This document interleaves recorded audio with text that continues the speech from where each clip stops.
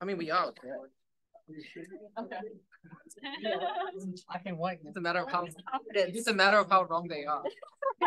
It's, it's, it's not black and white, Julia. It can be gray. Looks like something there. CGI.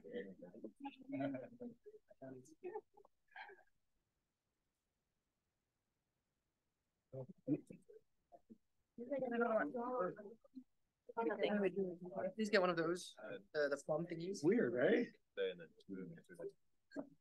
Sorry, those, no, no, just the general, the doctor. So good. Yeah, It was. I like how you're. like, farmers, farmers, like, uh, direct- It's just, ah, Good idea. never.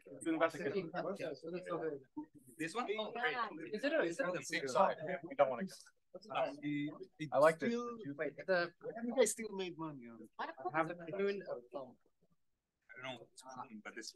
Prune, I think a prune is a dried. But that's why I need somebody to vent. Plums are very big. No, but, Are you any? oh, maybe a prune's a dried like prune. At search. Okay, just tell me. But like who it is. is also like homonym because you can like prune your. Like homonym. Yeah, it's not a plum, because plums are huge. Prune is a dried plum. Oh, is it? Yes. Oh, just the way like Wow. It's. They're dried great. Yeah, yeah, yeah. let's- Yeah, yeah. Yeah, Like, you know? Prune is a dried plum.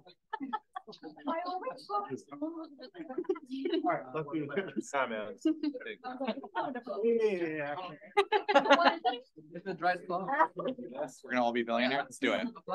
Plum. Oh, So there's Blanc Pond, see the five I ver, like great. Dead like the, I kind of like the yellow Uh, Do you know like maid? Pacific, but they have this, here's the problem. I mean- They use Yeah. yo, whatever, the system Oh, yeah, yeah, yeah, that's a plum. screw. The You know how. It's not like, uh, Yeah, it's just plum. Yeah, it's so good. To watch away. Not a plum, it's like. The only, but actually, I like this a lot. because This is like. Oh, everything's half shaking up. and- Yeah. I know. There's gonna be huge lines. Where, who's your AD? Like, I wanna visit some AD. I don't, I had one in San Jose. A Rolex eighty though. You know what I want? I want now celebrations one. Bubble, the, uh, the bubble, the OP with the bubble. You know, the turquoise OP celebration. I'll look it up. Forty-one, one Pepsi GMT. Definitely. A lot of money. Irreversible. I have things to trade. Right, I have an extra. I'm gonna buy it. I have an extra. I have two mint green on it. So I have taken a one. They're hard to get. So I got two. One from Manhattan and one from Long Island. Really? Yeah. You get-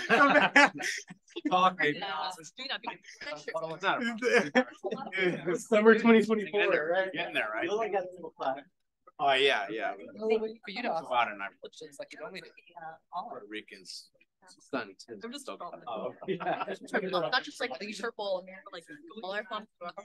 Okay, guys, uh, welcome back from lunch. Uh, so we're in for a treat today.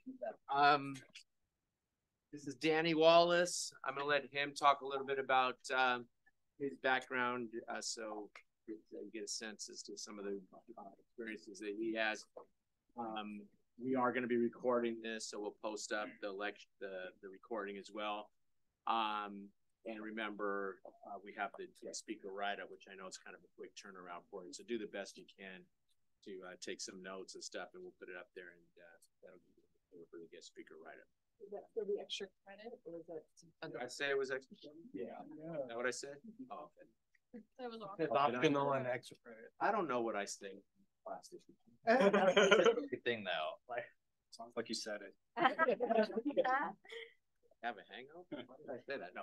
I'm just- Okay, so, um, so, yeah, okay, that's right. So if you want to, turn in, you can. Okay. Any, uh, yeah, that's right, because we said it's so close to the end and stuff. so. Okay, cool. So I'm, for, for no further ado, with no further ado, It doesn't seem to be working. Danny Wallace doesn't want us to Yeah. work. So maybe, maybe, Don't feel bad, because it does the same thing to me. half the time, but let me okay, see. so I'll go ahead and get started and then. Yeah, I got it, I got it back up. Um, so I'm gonna stand here for the purposes of the Zoom camera. So, uh, good afternoon, everyone. My pleasure, uh, to be here. My name's Danny Wallace. Um, uh, up until June of last year, I was a, a partner at uh, one of the big four firms where I'd spent roughly 40 years. Um, I started off in Ireland, where I was born, um, and spent the last 30 years here in Silicon Valley. And my job um, was essentially trying to find startup clients that we would like to have been clients of the firm, and uh, essentially uh, bring them into the audit practice. And so um, I spent a lot of time with with startup companies, some of uh, some of which you will have heard of. Um, so Twitter was my client when they first got started, maybe had 100 employees. Um, Uber uh, when they were still running the black car service.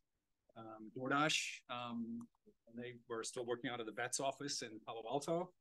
Several people showing up with their dogs for uh, you know for examination. Um, uh, Dropbox, uh, Zappos with Tony Hsieh and Alfred Lin, um, and a host of others that that, uh, that you that you won't have heard of. But but um, that's kind of my background. So I spend a lot of time with that firm, kind of working in this space, um, you know, trying to find uh, you know, clients, uh, the potential clients. Um, so this presentation um, is one that I've given uh, quite often, and it's really a summary of my experience working with those companies. And I've tried to pivot it um, really to people who are not um, accountants or from a finance background. And I started out the, the very first um, presentation I did was at uh, Y Combinator. So we were presenting to people who, were, who weren't from a finance and accounting background, but it was essentially the bones of the presentation is the same. And it's really to let you know um, things that you should really be focused on, even if finance and accounting is not your background, if it's engineering, if it's sales, um, product development, so forth, marketing. There are certain things that as a leader in the organization, you can't ignore. You can't just delegate. I mean, obviously the CFO is going to deal with a bunch of this, but but you have to be present at the table with a point of view. And so um, I focused on there's four main things, and we'll go through those. Um, spend a little bit of time on each of those, and it's really um, it's really a summary of where I've seen things go wrong. So I've tried to try to pivot it so that at least when when you see this or you hear this in the conversation, kind of the alarm bells go off, your radar is out, you're, you're sort of present, and you know it's something you need to be involved.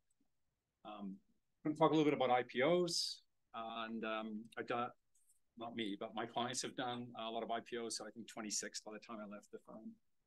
Um, so a lot of IPOs. We'll, we'll spend some time on that. Um, and I'm going to start by, um, by talking about the current venture capital scene, because obviously that's key to all of this. Um, I have quite a few slides here, and I believe the slides will be available, so you'll be able to look at those um, your leisure if you want to. So I'm going to go through those quite quickly, but really just kind of set the scene and I'll probably refer to some notes here as I, as I go through this deck. Um, so other things that we'll cover, uh, I'm going to talk about an account, what the accounting organization looks like um, at different stages of a startup's life. And um, we tend to be the, the, the last part of any organization to get any love and attention. It's generally accounting and finance is sort of the last thing you think about before um, you know you, you're ready to go public or, or sell the company. And I totally understand. You know, if you don't have a product, so engineering is important you're not able to sell that product, sales and marketing is important. And obviously, um, you know, um, the other other departments and other functions are very important. But accounting and finance is important, and hopefully, um, I'll be able to sort of uh, illustrate that when we, when we go through this presentation. Talk a little bit about financial statements. I'm also going to spend a little bit of time on accounting controls and fraud.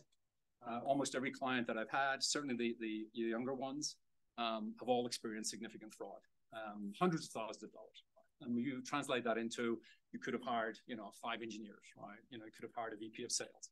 So um, these organizations are pretty chaotic from a uh, infrastructure point of view, and it's a, it's very ripe for um, you know for bad behavior. Um, and so I'll I'll talk about some of those controls that you know you can easily implement to prevent a number of frauds. And uh, we'll kick it off with um, venture capital scene right now. And I wanted to acknowledge that all this data is coming from PitchBook, so an NVCA, so you're probably very familiar with that. You can download this report just by generally by supplying an email address, and there's tons of analysis. So I've just picked the ones that I think are, um, are most interesting. So um, as you're probably aware, it's uh, it's not a great time for fundraising, right? Pretty tepid right now. Um, carrying on from from uh, Q1, you can see from see from this graph um, I'm still not able to explain why, but obviously during the pandemic, we hit new heights in terms of fundraising. So this shows all, all venture capital fundraising, um, not just the VCs that are on Sandhill Road, but also corporate venture capitalists and late stage investors. This is everything. And it's quarterly analysis, um, roughly about 40, 40 billion uh, venture capital for, for Q2. Um, so pretty stagnant compared to the, the previous quarter. Obviously, nowhere near any of the levels that we saw during the pandemic and more akin to sort of pre-pandemic levels. So almost coming back to, to where, we, where we were at. Um, it's, it's not, as I said, it's not a great environment for, for raising capital. The, the, the primary reason for that is there's no exit market, right? You're probably well aware the IPO market is dead, although there's, there's been a couple of notable IPOs. But obviously, um, for this cycle to continue, there needs to be exits, right? So those funds that are realized in an IPO will get distributed to the investors, um, the limited partners. They will have more um, capital to invest in new funds. The venture capitalists then will have more money to invest in, in new companies, right? And the cycle continues. So it's kind of stalled right now. Um, and it's it's permeating all levels of fundraising. So it's not just the uh, venture growth, so the very you know pre-IPO companies. It's not just late stage, which um, they define as um, you know, Series uh, Series E or D and E, C and D, sorry, uh, Series uh, C and D. It's not just um, uh, early stage, so A and B. It's not just seed; it's everything now is feeling is feeling the pressure here. Um, there are about fifty thousand venture venture backed startup companies in the U.S. That's probably uh, that's more than twice what there were um, back in 2016. So a lot of companies looking for capital, um, and not a great time to be to be um, in the fundraising market. So I, I always like this graph because this shows um, basically valuation trends. And it's not perfect, right? It's based on venture-backed companies that have gone public. So, but when those companies go public, you're able to you're able to see exactly what their valuation is compared to their sales number, or their revenue number. This is based on trailing 12 months uh, price to sales multiples. Um, so it doesn't include, it doesn't specifically doesn't include pharma and biotech because quite often their valuations have got nothing to do with revenue number, right?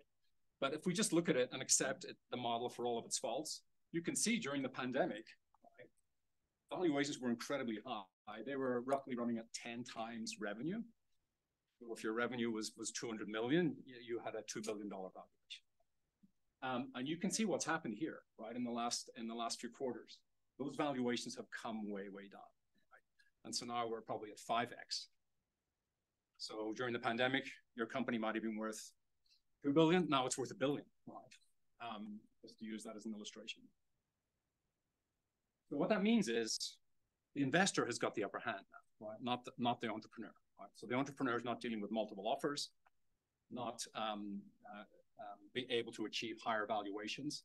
The balance, the pendulum has swung back to, to investors. And uh, it's a sentiment index that, that is done by PitchBook. I, I'm not sure of all the science that goes into it, but let's just accept it for what it is.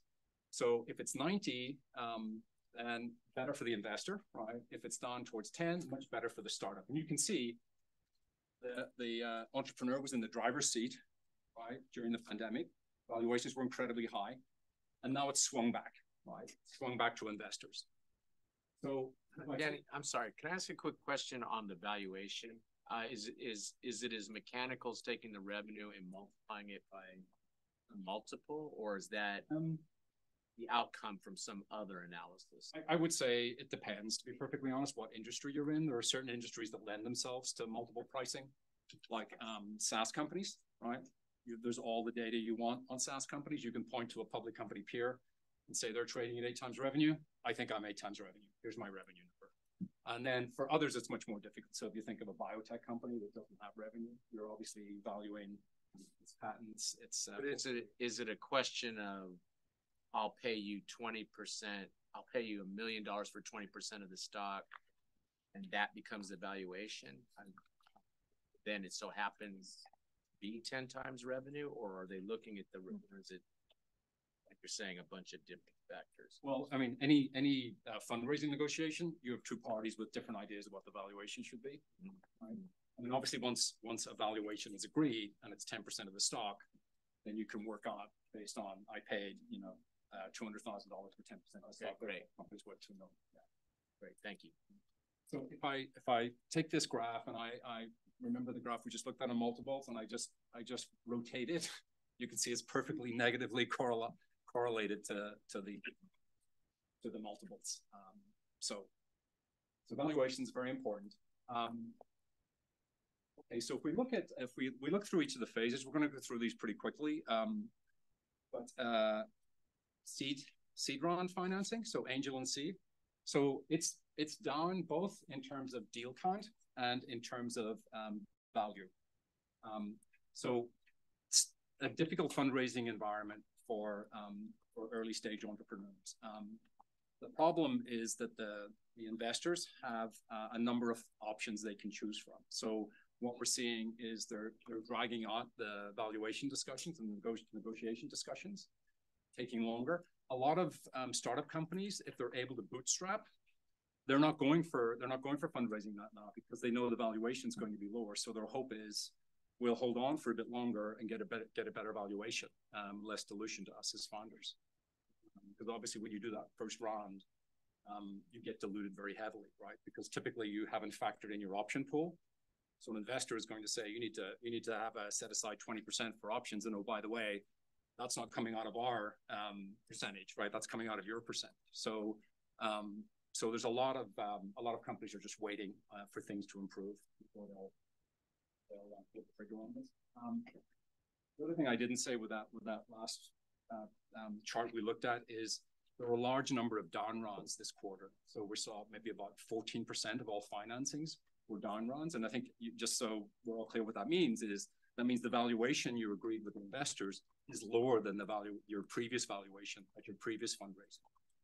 So down is not a good thing, right? Um, and I think our expectation is um, you know, that that we'll we'll see a lot more down rounds in the future. So I think a lot of companies have been able to mitigate it right now by doing some layoffs, borrowing some money, so so loans, um, loan capital, and so they're not going to investors. But obviously, at some point, that's going to run out, and then we're going to need to go back to the well, and they'll probably see. We expect probably to see a lot more down rounds. Is that uh, part of the life cycle of the startup as well? That like we were we, we were discussing the valuation, but like when you have an idea or a patent or like the seed round, you know, the valuation is kind of from what little experience I've Yeah. had, just listening to people, it's like kind of like, you know, not not that many concrete uh, metrics to say this should be the valuation, but then if it's B, C, like later on you've started making some revenue, you have some stuff, you know, you can actually put a number on it. That it just kind of shows you how um hopeful the initial estimates might be that when the real world hits, the subsequent ones are are expected to be down rounds or you would typically expect the valuations to increase every time if you're in a successful startup. Um, not to say you can you can have a down round and not be a successful company, right? I mean, there were lots of IPOs that ended up they were down rounds effectively, right, from the from the last financing. But um, generally, you would expect the valuation to keep increasing, right? And that's what the existing investors would want. They're going to want to bring in additional capital. It's easier for them to do that if the company's performing well and the valuation's increasing, that's on some sort of trajectory. This is really interesting. Um, you know, there've been a number of people talking about this for a while who kind of foresaw this coming, like Bill Gurley and Keith Boyd, people like that. So my question is more, and obviously the interest rate spiking this year made this much worse. But if you ex- ex- take that out of it, why didn't more people see this coming and kind of be out ahead of it, considering this wasn't really that surprising? We had such a boom time, like you mentioned. I mean, I, I, th- I, I would say my analogy would be to the stock market, right? I mean, um, you know, everyone piles on, right? Valuations become so high, and then at some time it corrects, right? Um, and there are smart people that can see that. I'm definitely not one of those, but there are smart people who can see it. I think I think it's some somewhat similar here. Um, you had a lot of late stage investors sort of hop onto the bandwagon during those um, those uh, sort of halcyon days during during the pandemic. And I think in retrospect, we'll talk about that a little bit when you see some of the later stage financings. A lot of those companies are still sitting on a ton of cash. They were overcapitalized, you know, two years ago. Thank goodness, right? Um, sorry, do you have a question? Yeah, I was wondering what uh, impact SPACs had on this, Did, and do you think that had a, a, Yeah. a role? Um, I well, I mean, I think SPACs generally probably uh, had a negative impact on the capital markets, right? Um, SPACs are special purpose acquisition vehicles, so basically a reverse merger into a public shell. So it's a it's a fast way I have to be careful because I had some clients that did SPACs. I don't want to be too disparaging, but it's a fast way to go public. Um, a convenient way to go public. And um, some people would say those SPACs should never have been public companies. Because the business would never have survived a typical IPO. Um, but you know, who's to say? Um, I think they've they've impacted the exits, right? Which and exits has really had a big impact as well as interest rates on the funding scarcity. So definitely, um, I don't think they were particularly successful exits for a lot of the investors, but they were still exits, right? You got some money back, and, and so you were able to. So um, so this is early stage VC activity. The last one was seed and angel. Um, so this would be your A and B round typically. Um, I, I, have some other stats on median and average. So again, you can you can see for early stage um, uh, volumes down, valuations are down.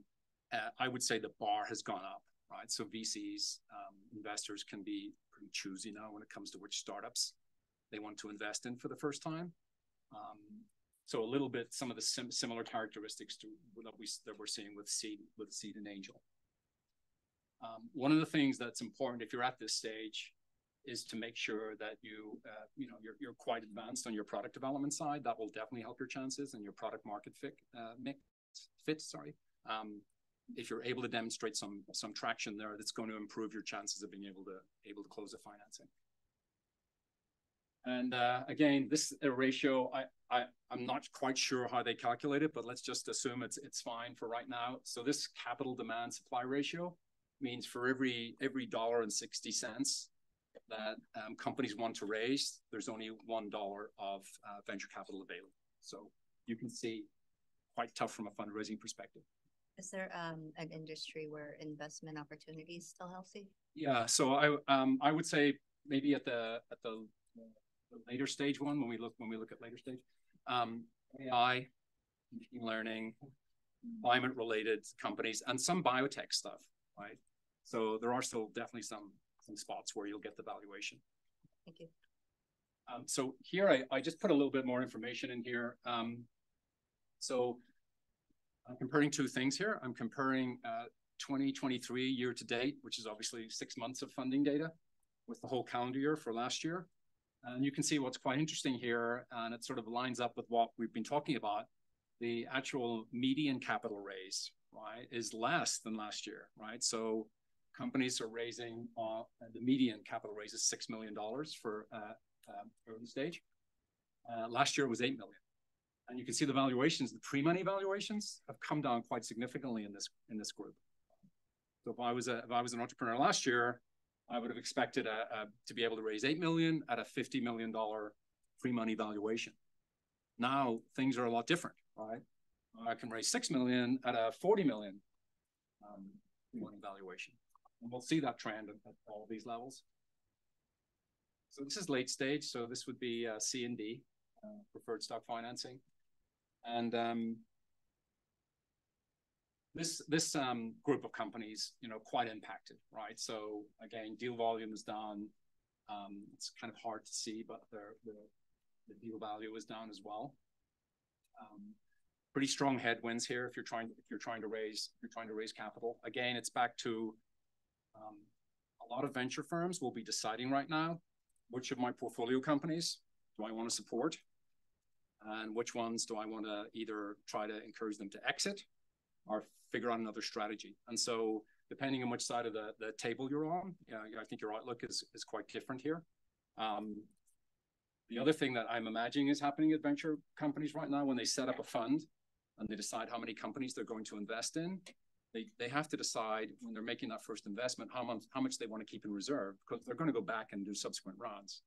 So I'm guessing right now is they're looking at the reserves and probably figuring out, hey, I don't think we have enough in reserve for all of our companies.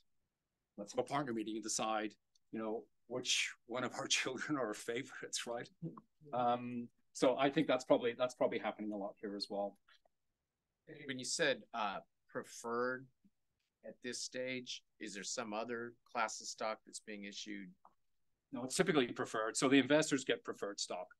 In A, B, C. So just different rounds. The first round's an A, second round's a B, They're all preferred. They're all preferred, yeah, yeah, they have preferences, so, so the preferences would be things like, um, if the company fails, we're first at the trough, right? Um, they come with dividend rights typically, um, now these companies don't pay dividends, but when you get to an IPO, um, it may affect how your shares get converted into common shares. So you may also get some credit for the dividends that weren't paid. Um, uh, obviously board, board seats, you know, things like that. There's a ton of preferences, right? Employees are getting common stock typically, founders are common stock. Quick question, maybe tying back to some of our thinking about the different accounts. So Company gets seated, let's say with ten million bucks. Does That just sit in cash, all ten million for the first X number of years, or do they just keep a certain amount of like working cash and then put the rest in short term? I would imagine that gets, depending on where you are, I would imagine that gets earmarked and spent pretty quickly. So probably hiring would be the biggest thing. Hiring or maybe spending some money with Google, Facebook and Amazon and Microsoft for your web hosting. Yeah. Money typically, typically goes very, very quickly at this stage. Once they get to the IPO and they have a war chest from the IPO, then they get into treasury management and they start buying things like um, mortgage-backed securities. No, it's a joke. No. So Literally just cash and you're just. Ca- That cash is gone. Not worried about. Yeah, that cash, that cash doesn't sit there for very long. Um, yeah. And They could purchase, it depends what they're trying to finance, right? If they're trying to finance equipment, then they would use it to purchase equipment. Danny's saying a lot of it goes towards. It's hiring generally. So that's gonna hit the income Yeah. statement versus the balance sheet. They're, they're typically spending it when, when they're having the, um, the fundraising conversations with the, with the venture, venture firms. It's typically going to be, we're spending it for headcount. We're getting, you know, we're hiring, you know, ten new salespeople, twenty engineers. This, you know, big VP of sales coming over all that stuff. Um, so again, here you can see, this is for late stage. So if I was raising money last year, I would have expected to raise ten million at a sixty-three million pre-money valuation. Now things are uh, a little worse, right? I'm raising seven million at a fifty-five million pre-money valuation. So it's Just a point of clarification, um, the, the pre-money value, it just basically means that you're raising less and you're giving away more equity for it? yes, Is that, okay? yeah, yeah. yeah. You'll be, your dilution will suffer, right? If the valuation goes down.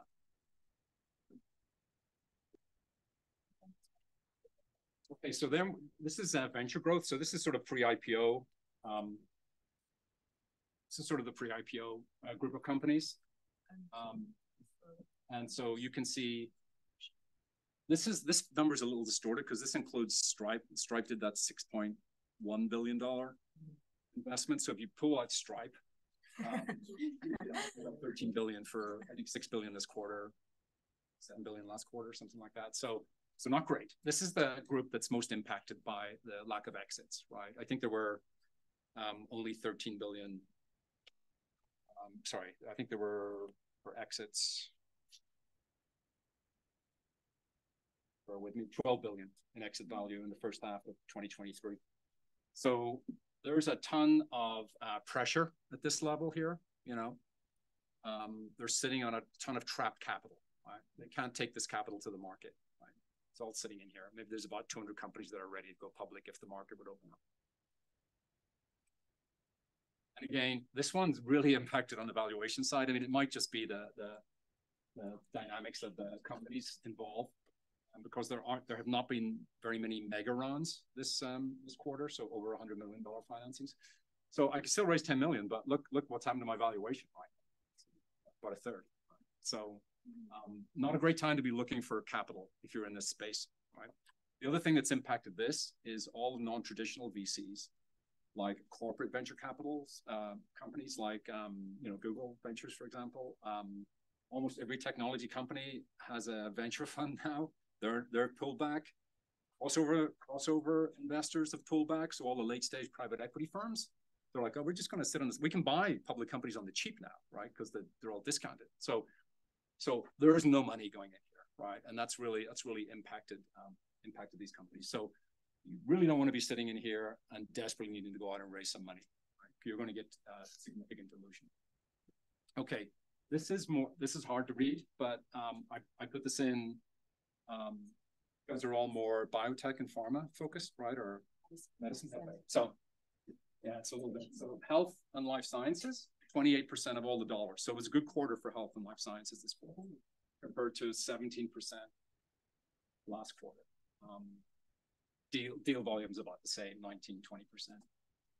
So it's not a bad quarter for life sciences, health industries. What was the blue category? Um, business services. Yeah, I'm sorry. It's really, it's really hard to read. That was business services.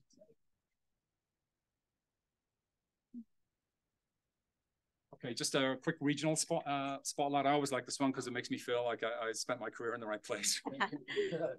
so we have a good 40% of all the value here, right? So that's great. So it's all, you know, most of it's happening here. If you include um, Los Angeles, we're probably at about half. Obviously, Boston, New York, um, DC, a little bit of activity in Austin. Um, but most of it's still happening here. What is the black versus the blue? That just Those are, um, I was gonna try and make a political comment, but I probably shouldn't. No, honestly, I don't know. like a throw map. Maybe it's the states they talk shit about. I'll find that out for next time. Um, okay, so this is, uh, this is basically the corporate, corporate venture capital, non-traditional investors. So it just really, um, backs up what I was saying about how they've really pulled back from the market. So for this year, it's sixty-two billion invested, twenty-five hundred deals. Um, obviously that's only half a year, but still nowhere near what they've been doing in the last two or three years. So I would expect to see on their on their public company balance sheets, they're probably going to start taking a bunch of write-downs on, on investments. People look out for that. This is exits. Um, so this would be IPOs or M&A activity. So an exit, so the, the VC basically is able to sell its interest in that company. That's an exit for the for the investor. And you can see they're basically non-existent, right? So they're not they're not getting the churn. So they're not getting the funds back in, which they're able to not able to distribute to the limited partners. You have a lot of folks sitting in uh, limited partnerships and institutions and um, pension funds probably saying, "Oh, well, I'm not going to put any more money in. Um, I haven't had anything back in terms of distribution, so um, so the flow of funds into fundraising will be lower."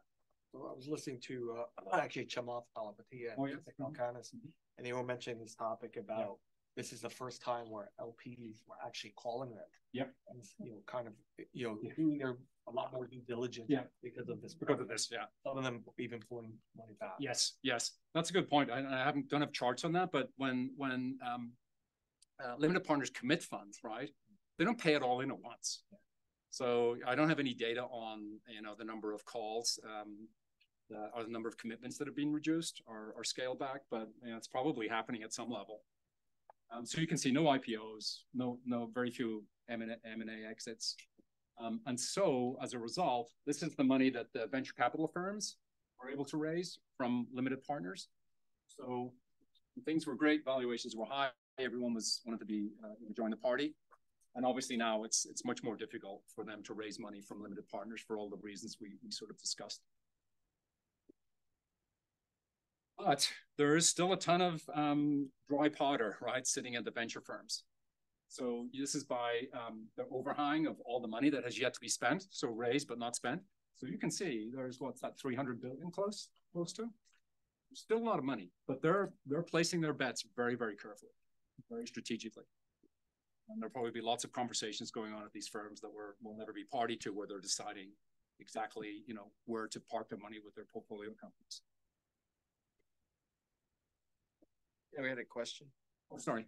Do you know like the major reasons why this is happening? Like after the pandemic, are people cautious? or- Yeah, I think it's I think it's a bunch of things. I think, but primarily it's the it's the exits. The so the IPO market is dead, right? So that goes back to you know an, any number of reasons, right? The the economy and interest rates and uh, stock market and so forth. I mean, I it's it's.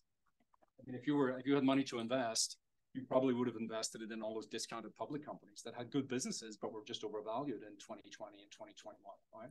Why would you invest in a new IPO? and run the risk of you know having that stock crater at some point. Like very few of the 2020 and 2021 IPOs were able to maintain their valuation. Right?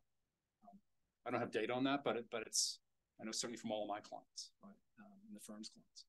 So I think there were just better opportunities, you know, for, from a capital investment perspective. Uh, but if there are no IPOs, you can't recycle the money that's in the, in, you know, in the venture ecosystem, right? So, but there is plenty of money though, which is good. And I think, um, I read a couple of reports, I think maybe twenty twenty-four, the IPO market's probably not gonna open up in twenty twenty-three. Um, you know, got the holidays taking up a big chunk of the, the rest of this year. Um, so, you know, fingers crossed, hopefully twenty twenty-four, everyone comes out of the gate. get Quite a few IPOs. I know there's, um, Cava was quite successful, the the restaurant chain, I think. Uh, Instacart might be going arm, so there'll be, there'll be one or two that hopefully start the snowball again. And everything will be great, and then we'll have this conversation.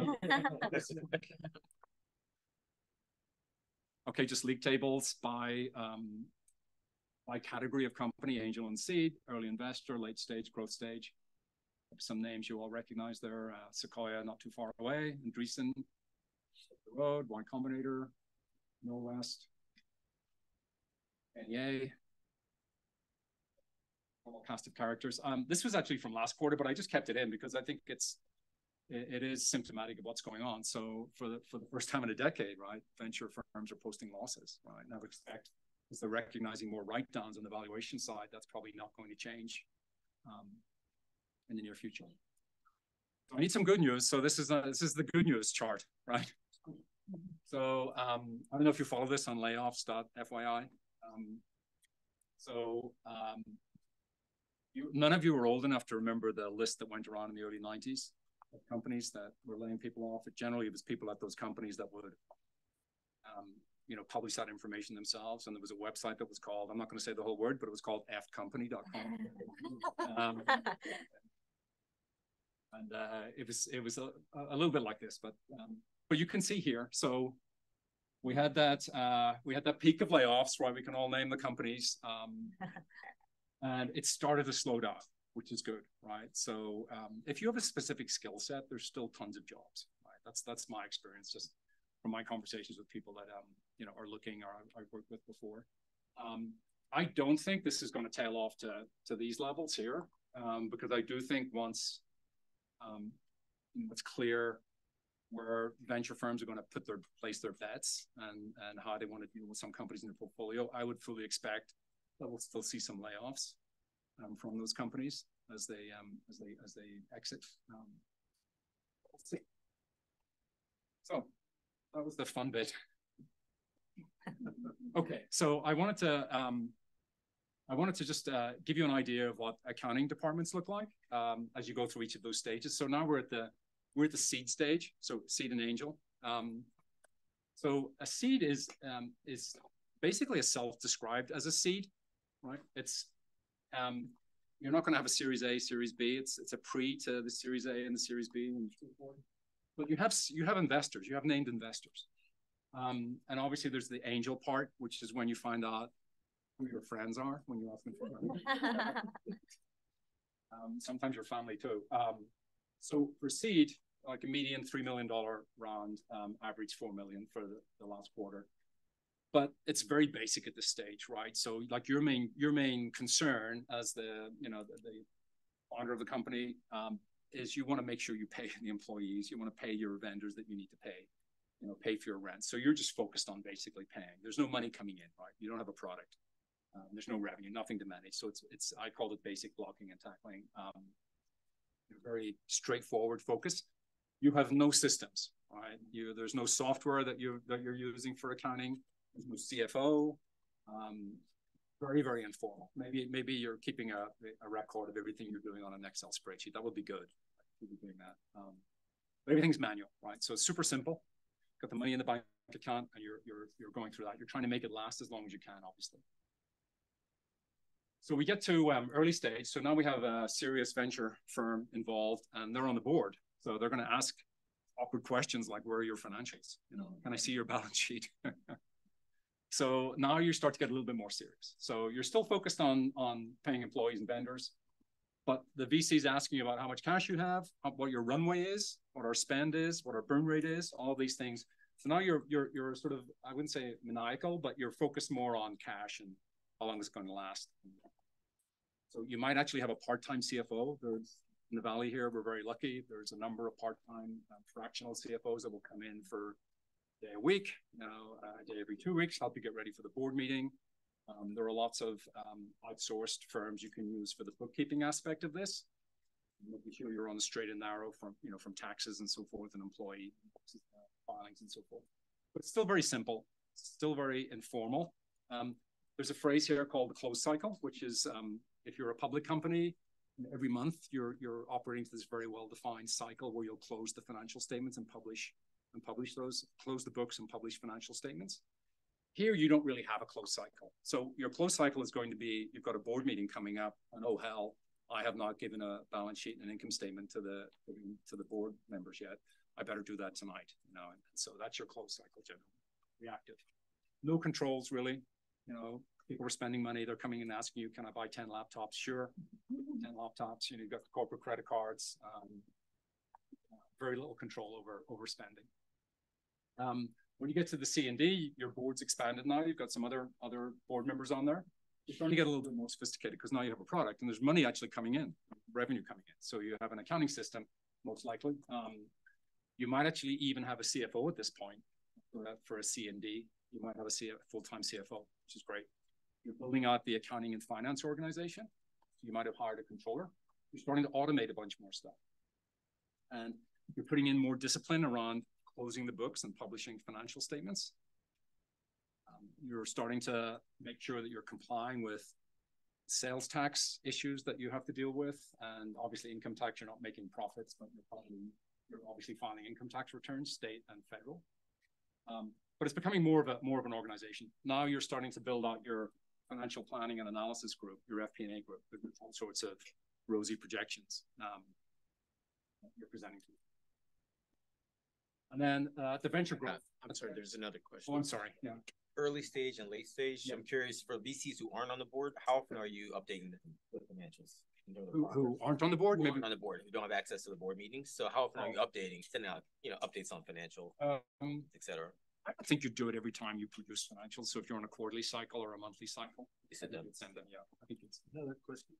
Yes. In terms of the criticality of uh, developing all systems, is it more critical for companies that have revenues necessarily or selling products than, let's say, biotechs that are just I would I would say absolutely right. Right. I mean, um, you know, revenue takes you to a different level, right? And depending on the nature of the revenue, so let's just say you're a software company and you can buy an off-the-shelf um, package to manage the revenue from your licensing agreements or your SaaS arrangements.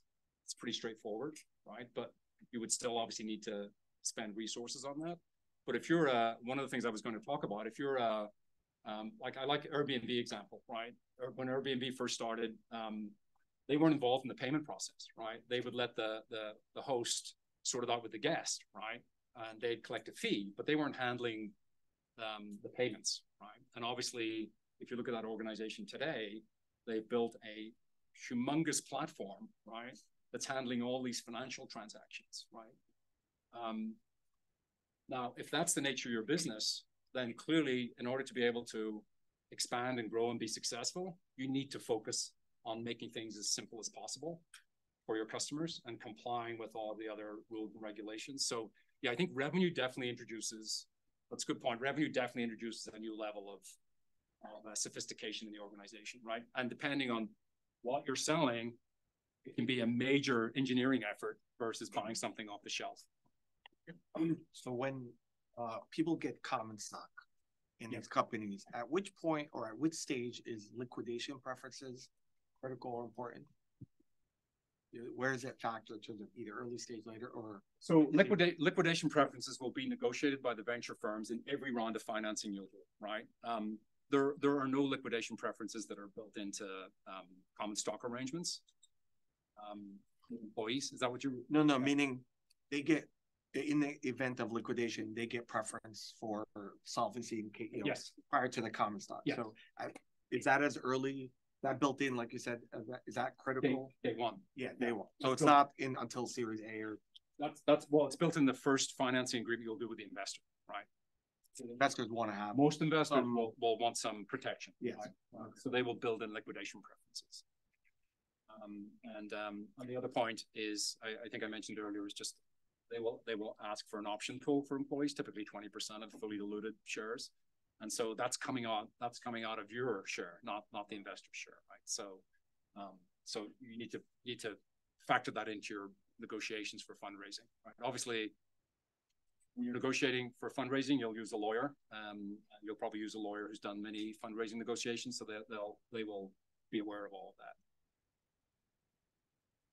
So when we get to venture growth, so pre-IPO, I mean, you've basically built out the whole team. So you've got a system, maybe you're using NetSuite, um, maybe you're using SAP. Um, I know SAP acquired NetSuite, but maybe you're using SAP software, Oracle, some, something, right, to, to capture all of these transactions. Um, permanent CFO, full in-house team, experienced controller. You have all these disciplines on revenue recognition, uh, tax, um, international expansion. You have you have individuals within the organization that have specific knowledge and expertise in each of those areas. Um, everything's as much as possible is automated, so you're using software, digital tools for everything. Um, you're producing pretty sophisticated financial reports on a regular basis, probably monthly, and then probably weekly for some of the, you know, for some of the management team, if the reports, bespoke reports that they're using. Um, you have controls in place because you need to be control compliant when you go public to comply with uh, SOX, Sarbanes-Oxley. But the, the one thing I should have said earlier was now you're starting to be like a business partner to other parts of the organization. You know, people actually want to talk to you, right? Can we get an analysis on revenue, right? Here's a deal that we have. How should we think about this from a revenue recognition point of view? What's it going to do to our financials?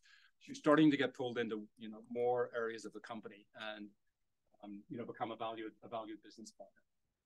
Um, more sophistication. So you might have, I said, I mentioned taxes, but foreign exchange might be an issue if you're global. Um, treasury now, maybe maybe you did a big fundraise, yeah, so you need a treasury strategy. Technical accounting is very important. Um, but really now you're up and running. So you can see how this evolves, right? And the key thing here is um, trying to be ahead of the curve and, uh, you know, getting the team in place, um, you know, in time for these challenges that you're going to face. Um, that that one about revenue is really important because if you think about like Airbnb, Uber, um, any platform company, eBay, uh, Eventbrite, um, Poshmark, all of those companies, there's no software that they can just go and buy that'll handle all the revenue transactions, right? They built that. Their engineers built that system. Um, they built it to be friendly for the customer. And then you um, are the CFO needs to make sure that, hey, all that information you're getting from the customer, we need to figure out how to get that off the platform into the financial statements. That's quite often the biggest challenge or what I would call sort of marketplace or shared economy companies. That's really that's really critical too, because to your point, the marketplace is this high risk of fraud. Yep. You have Yep. multiple parties who are trying to defraud you, Yep. right? Whether it be Yep. customers, partners, et cetera. So interesting. Yeah.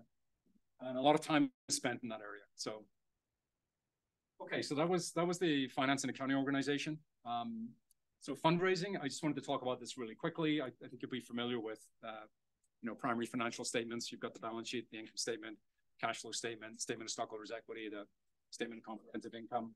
Um, you need to have all of that stuff available. I mean, obviously, if you're going through your first round of financing, it's probably pretty rudimentary, but as you get more sophisticated and you're talking to um, later stage investors, um, you want to be able to share that information with them, the historical financial statements. You'll want finan- financial projections, um, showing revenues, costs, and margins, 12 months in detail, probably um, you know summaries for for later years. Um, use of fund statement. It's important to be able to explain um, what you're going to spend the twenty million dollars on that you're asking them for. Okay, so um, so obviously you you will think through that. Sometimes things that people forget about um, in a fundraising situation are are some of the uh, non-financial areas like the capitalization table. So everyone know what a capitalization table is? Yeah. Um, so it's a summary of who owns the stock, right? But the thing with startups is, and if you look at Facebook, for example, that's a good example. Um, founders aren't always necessarily on the same page about who owes what and who was promised what, right? So you want to make sure before you're sitting down with investors that you know uh, exactly what commitments you've made as a company. And the best example I can give here, which is a nice example, was one of my own clients, was a GoPro. Um, and the CEO and founder of GoPro um, was uh, Nick Woodman.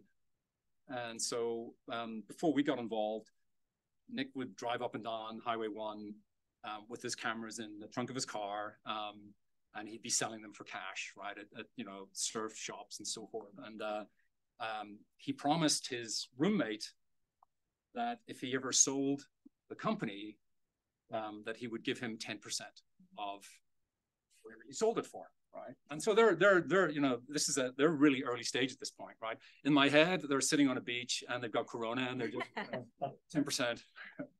Um, and fast forward, right, um, a few years, and um, he took his first investment. I think he sold maybe sixty million dollars worth of, of stock to some late stage investors, and we were actually in the office. We just started the audit, and and this guy came in. His roommate came in, and, and Nick gave him a check for for six million dollars. And so I went home that night and I yelled at my kids, "Why can't you get a roommate like me?" but, um, and I think there was even more on top of that. I think the, the board were like, well, hey, look, the promise, you just sold part of your stock, right? There's there's an overhang here. So let's just give this person a stock option agreement. And um, I think there's plenty of newspaper articles um, how much that was for that individual. So, um, but that was a nice example where where that was an oral promise, nothing written, and he honored it um, uh, without any uh, you know any coercion whatsoever. yeah. So let's say an early stage startup has three founders, right? Uh, and then they're trying to raise, uh, as far as um, uh, how much equity goes to the investors, how do the three founders split uh, that equity? That, like, for example, will, will founder one give away 10% and then founder two give away 5%? Like, is it split equally? Is It totally depends on, um, how, let's say before the investor shows up, how you've decided who's getting what, right? Does the engineering founder get 60%? and the other two founders get uh, twenty percent each, and then it would just be prorated whenever the whenever the investor comes in. So I don't think the investor will say, you you, you know, here here's how we should do this, right? Okay, but customarily, uh, would the engineer, since he has sixty percent, would he give more uh, out of, of his share to the investors, or, or would he say, "I give five, you give five," and and it would, it would, be it would be prorated. So if so, let's say the investors were taking twenty percent of the company, then the engineer would take twenty percent of his sixty percent, right?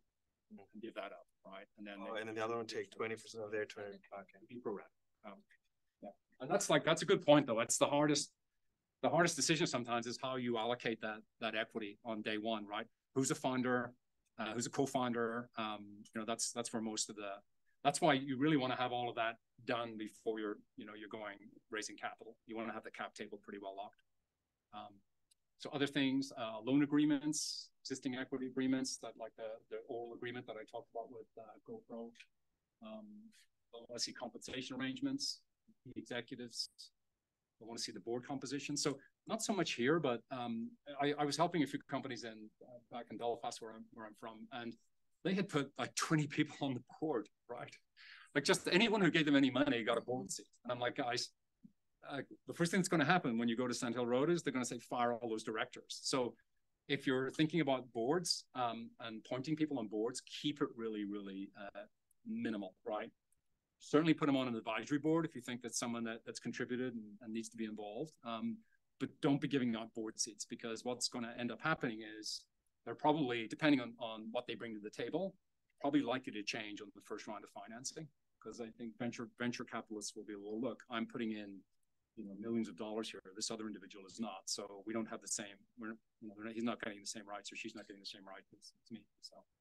So you have to think through all of that first. Um, I had a question. Uh, the use of funds statement, um, are those subject to audit scrutiny or not at this stage? No, no, not at this stage. Is there a is there a format for that, or is is a company just like the AICPA or somebody prescribe no, I mean it's it's really. Um, I mean, I would say maybe the cash flow statement is probably a good thing to start with. You know, where you think about the three parts of the cash flow statement, where it talks about operating activities.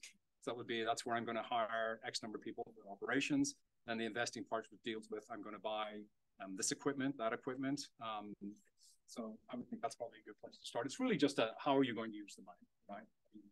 There's no standardized. No standardized one, no, no. I just realized it's almost 1.30, right? So I'll need it. Two o'clock? Uh, yeah. Okay, so I'll to go a bit faster. So risk of fraud. So um, like I said, most of my startups had fraud, um, some of which we found, uh, some of which we didn't, and it came out later. But um, it affects almost all, all companies, particularly small companies without a good internal control system. And so here's common fraud schemes. Um, I'm not suggesting you do these, but these are the ones that I see. Um, so personal expenses, which are really um, characterized as business expenses. So if you have an expense policy and you're not paying a lot of attention to it, that flight someone took to Vegas wasn't really for a conference, right?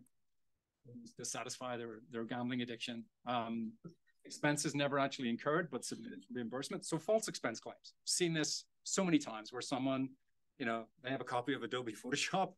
They did take a trip once, and they so they have a hotel bill and they have a, you know, they have an airfare um, bill, and they just regenerate another one and um, say they paid it on their on their on their uh, personal credit card and submit it for reimbursement. Happens all the time, and it it's it's insane because these amounts sometimes, I mean, they can be significant. So let maybe let's say five thousand dollars or ten thousand dollars but why on earth would a VP or regional manager risk their career um, for you know five or ten thousand dollars? It just doesn't make a lot of sense. Um, falsifying sales to generate commissions. Um, so you know basically a lot of sales folks are are commissioned. Um, salary, but they're they're really incented by commission. So they'll put together sales deals. I've seen some that just never existed. Right. Um, go through the system, they get paid out on their commission, and they're gone. Um, kickback from kickbacks from vendors. Um, so this is where you're expanding globally, right? And you're going to a country you have no connection with, but you're you're using an agent over there. Um, and so they set you up, and um, you're basically paying above market rate to another company in that country, um, and that's their brother-in-law, right? And so they split the, um, the the profit back with the your agent, and that happens all the time. So you have to be very very careful. Go through recognized um, recognized uh, sources. Gift cards or incentive codes. Marketing department buys a whole ton of gift cards for distribution at a distribution at a marketing event. They get distributed at their you know their Christmas party and a Thanksgiving party at home instead. Right? So um, simple things like that. Um, laptop, mobile devices, and other assets. I had a company that was going public, um, and uh, the uh, wasn't the VP of engineering, but a senior director in engineering walked over to the Apple store and bought 10 um, uh, MacBooks and, and uh, on his personal credit card, came back, um, submitted the personal credit card for reimbursement, put the laptops in his desk, never distributed. Got reimbursed, got the laptops out of his desk, walked back to the Apple store and said, "Hey, I'm returning these. Can I have a credit to my can I have a credit to my um my, my credit card?" Right. Um, I'm laughing, but it's it's actually they're serious. So so payroll fraud, typically again when you're expanding really quickly and it's hard to um, keep track physically of everyone that's working for you, you'll find that sometimes there are, there are people on the payroll who aren't working at the company. Right? So fictitious employee. So all of this stuff happens. I'm sorry, we had a, another. Sorry. Slightly, maybe it's a little bit of a legal question, but when is it fraud and when is it not? And I guess where I'm going with that is um, maybe the, the company's management or individual, to the that there is management, maybe it's just four people, don't have an issue with some of the practices that would somebody else would consider fraud, like. Um, so maybe it's a gray area. Yeah, yeah, yeah, there might be some of those. Yeah, yeah. There definitely might be some of those. That's why it's very clear. Fraud and there's illegal acts. An yeah. illegal act can be unintentional. Yeah. Yeah, I, fraud is specified by intent. Somebody knows they're doing wrong and they do it. the the solution to this is to have very clear policies, right? So yeah, yeah. So that's where, yeah. So it's so there's no subjectivity, but some of these cases are are pretty black and white. Um, so here, here's my advice. Uh, what I tell my clients: minimize the number of corporate credit cards, right? So have as few as possible set approval limits. If you want to buy 10 laptops, you need to come see me first and I have to sign off on it. Um, improve the hiring process. If you've hired your accounting manager off Craigslist I guarantee you, some of this stuff has happened. Um, introduce segregation of duties, so two people responsible for for the transaction. That way, it cuts down on the on the opportunity for fraud. Train subordinates, make sure everyone's taking time off because you know one of the hallmarks of fraud is someone who never takes a vacation. So I don't know if you knew that, Um, with the exception of Elon Musk, right? um, uh, ads because they, they need to keep it going, right? They need to perpetuate the fraud, right? And they can't afford for somebody else to do their job for a week in case they find it. Um, add supervisory reviews, whistleblower line. So have a lot, uh, have a um, either an email address, anonymous, or, or a telephone number where people can report. Most of these, I think I said, forty percent of these fraud cases, the companies are identified by whistleblower. Can you comment, uh, I know a lot of people about Theranos and Liz Holmes. Yeah. How did something like that continue to perpetuate for so many years and at that level? of Yeah. Over, I think, hundred million. Yeah, no, it's amazing, right? Wire fraud. Yeah, and- yeah, it's incredible. Yeah. Um, I don't know, um, I don't know if Theranos had a big four auditing firm, to be perfectly honest. I know we weren't, um, so I can't, I can't really talk about specifics on that. I just don't know. Um, but a whistleblower line is a good one. Um, so I had one client, you've all heard of them, and, uh, they had a, an accounting manager who they did hire off of, um, Craigslist and she'd spent maybe two hundred thousand dollars just, you know, taking her friends to see the Sharks in San Jose, um, taking her mother to Melbourne and running it all through as a um, as a, as a business expense. My favorite was she she intercepted a check that was being written to one of the law firms, crossed the name of the law firm on it was for thirty thousand dollars, put in her boyfriend's name, and uh, and the check got cashed. And like, why couldn't I have had a girlfriend like that? Um, she got caught because someone called the um, the whistleblower line and said, um, "I don't think she went to Duke, right? She talks about going to Duke, that she was at Duke, but when I look at her Facebook page, there's no friends, you know." Um, they started they started like diving into her and figured out that she had she had orchestrated this this series of frauds. This was the third company she had done this at, because very rare to get prosecuted, right? You have a conversation with the police and it's very serious and it gets investigated. Most of these companies don't want to tell everyone, hey, you know, we were dumb and we had no controls and this person walked off with $250,000. I'm sorry, uh, board of directors. Um, so, um, Danny, when, when you say a whistleblower line, a couple questions are public companies required to have? the companies are required, yeah. Whistleblower, and then what's the back end of that? I mean, there's a line where somebody. There's firm, there's, there's generally businesses that will, that will do the back end piece. So they'll hire a firm to Yeah. investigate whistleblower allegations?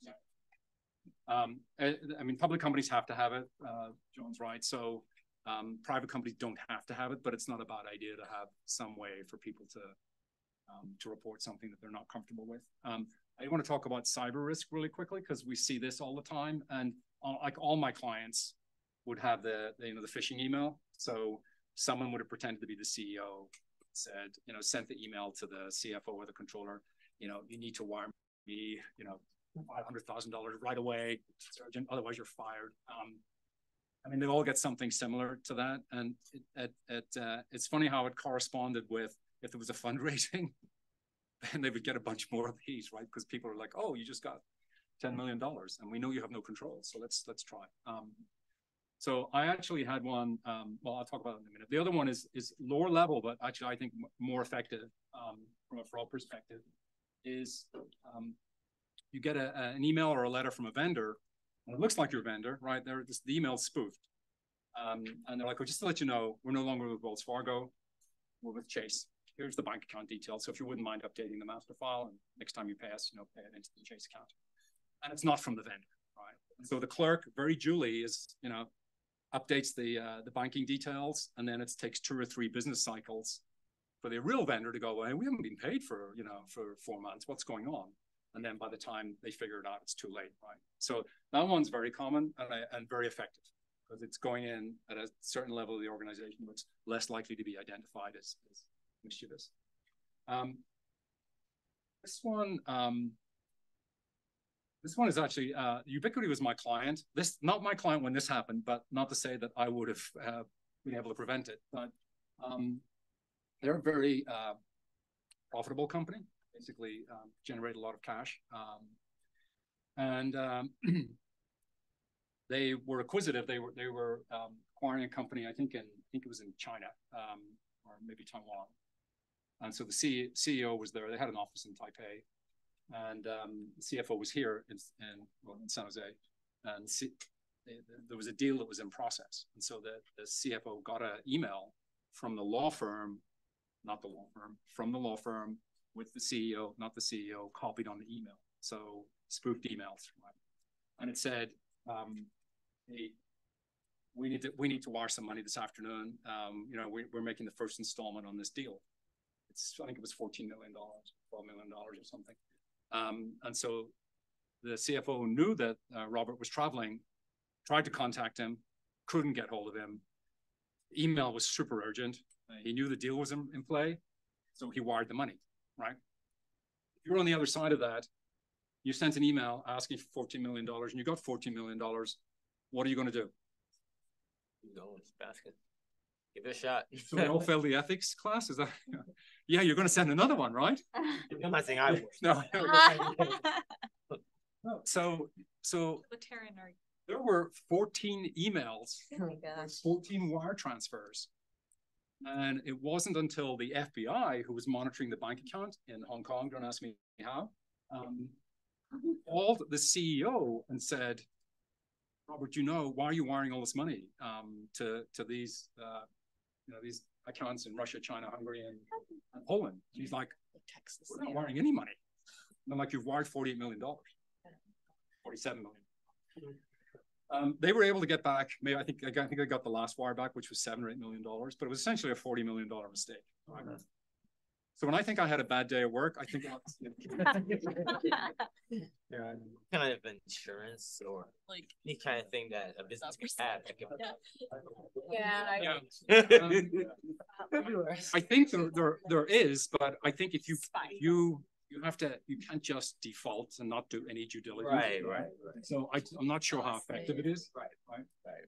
Um, So but weird. this happens a- this happens a lot actually. Yeah. Um, the other thing I was going to say, not not financial data, but intellectual property. I had another client that was going public, um, data streaming uh, company, um, software company, and uh, I think we were like maybe two weeks away from from finalizing it, and um, got a call from the CFO and CEO one day um, saying, "Oh, some bad news. Um, somebody stole all of our intellectual property."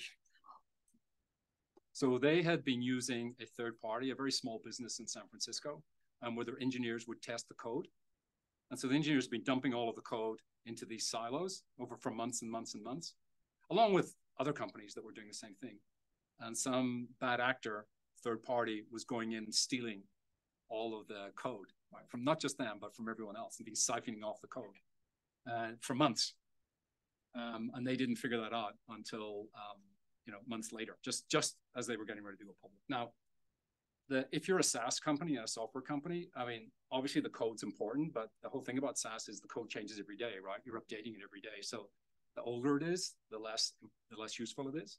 And plus, just having the code doesn't mean you can set up a business right away. You need all the other parts. So we had to go through some shenanigans with the SEC um, on their cyber group. With FBI were involved, um, and uh, ended up just putting a bunch of language into the document so that everyone was aware that that, that was a potential risk. Um, but it's not just so it's not just the dollars, right? It's like it's it's thinking about all the other aspects of your business and how exposed they may be. Okay, um, done a horrible job on timing, so I apologize. But here are the four areas that I wanted to talk about real quick. So even if you're not, uh, don't have a financial, uh, finance and accounting background, have to be involved in these. One is key metrics, which we'll talk about at the end, revenue, common stock valuation, and taxes. So revenue, why is, why is revenue important? Well, we saw on one of those slides, right? Revenue drives valuation, right? Revenue to me is the first thing I look at to see how a company's doing. It's like an indicator of the health of the company, the growth. So if a company's growing, um, you know, revenue, that would be apparent in the revenue, the revenue number. So very, very important uh, metric. It's, it drives street expectations. Obviously, what's the first thing a company reports? You know, revenues were X, you know, up Y percent. Um, so um, different revenue models. Uh, I think if you're if you're picking a revenue model, you need to make sure you're in line with your peers. right? So you would look at your industry peers, what's their revenue recognition, what's their revenue model? Um, I want to make sure that that's the one I'm following. Um, so you can, you cloud revenue, like Salesforce, it's ratable, right? So if you sign a contract today, it's an annual contract, you know for the next 12 months what the revenue from that contract is. So, so SaaS is great if you're the CFO. It's, it's so predictable. You've got great visibility into what your revenue is going to be. Um, the CFO is like that. The problem with SaaS is you're at the end of the quarter, two days to go, you're not going to meet your revenue number. There's very little you can do, right? You can sign a new revenue deal, but you're only going to get one day's worth of revenue, right? Um, so it's hard to it's hard to tweak it.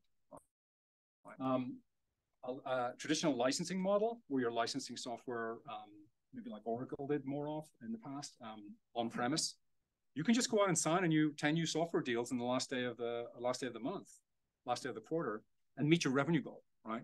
Those software deals will be horrible quality deals because the customer knows it's the last day of the quarter. But you have an ability to, to, to affect the results, but it's much more lumpy. So when you're thinking about what revenue model do I want, to take these things into consideration. Do I want something that's ratable and predictable?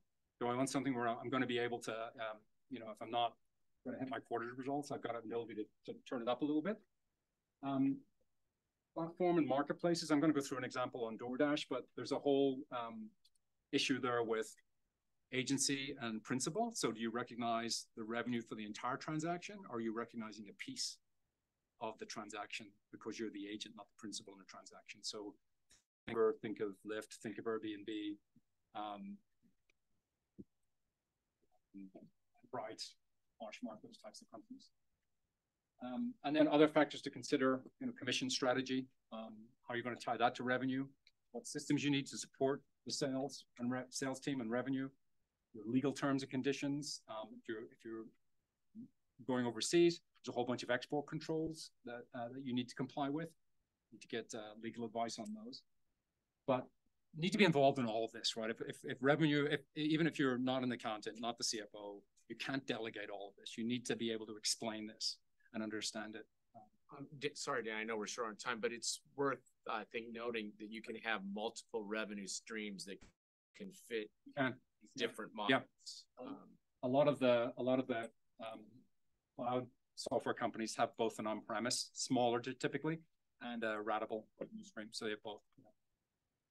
Okay, we're gonna think about pizza right now. So, um, so here's pizza the old way, right? So Pizza Hut, I order a pizza. It's twenty eight dollars and nine cents. I pay with my credit card. Here's their what they what they're telling me they're obliged to do, right? So, um, they're going to provide me with my ordered product, my pizza, as close as possible to the requested delivery collection time. I agree to accept it. Um, and then transfer of property, right? All the risks in the product, does it sound good? Shall pass to the customer on delivery. So what they're saying is as soon as we deliver the pizza to you, we've met all of our obligations, right? We're done, right? And we can recognize revenue. And here it is. Revenue of 2028 is, re is recorded when the company has met its performance obligation to the customer. In this case, when the goods or services are delivered, not when the cash is received. Obviously, they got the cash before, but they have to wait until they've delivered it. And then they're done. That's their terms and conditions, right? Now let's think about DoorDash, right? So I order another pizza. Um, this one comes to 25. Um, everything's going through DoorDash, right? DoorDash is the merchant of record. It's handling all of the transaction. Um, but it doesn't retain all that $25. So this is back to this concept of agency versus principal. So um, when you're thinking of a revenue model, you need to think about the performance obligations. What are you promising the customer? So for, for DoorDash, if we look at their terms and conditions, it's clause number five, and we have to, we'll read through those. Um, so DoorDash provides a technology platform, right? Just a technology platform. It's a marketplace connecting you with independent food service providers, i.e. restaurant, right? Um, and other products, and independent third-party contractors who provide delivery services. So they have a technology platform. That's all we're doing. We're going to connect you with a restaurant and with a dasher or with a driver. Right? That's all DoorDash is promising to do. Right? Um, you acknowledge and agree, just in case you didn't understand that, that DoorDash does not prepare the food or offer delivery services. So they're being very clear. Food's got nothing to do with us. Driver's got nothing to do. We have no responsibility or liability. Um, DoorDash is not in the delivery business. Um, provides a technology platform